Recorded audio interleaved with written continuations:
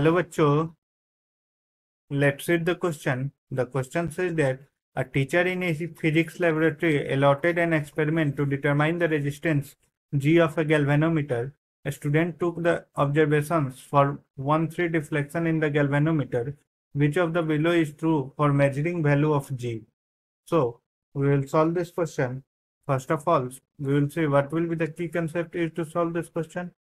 The key concept that will be used to solve this question will be if there is a resistance of galvanometer that is G and a shunt resistance S is connected in parallel with the galvanometer and suppose the current flowing in the whole circuit is I and the current flowing through the galvanometer resistance is Ig, then we will have in galvanometer.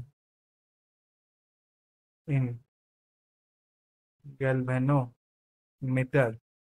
Have I minus Ig into S. That will be equal to Ig into G. This is because potential difference between these two points will be same for the both the ways. So Ig into G will be potential difference when we go through this way and I minus Ig will be the current flowing in this circuit. So I minus Ig into S will be the potential difference when we go through this way.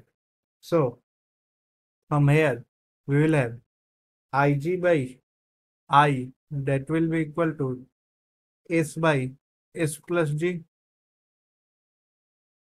Now we have been given Ig by I is 1 by 3 that is deflection in galvanometer. So 1 by 3 will be equal to S by S plus G.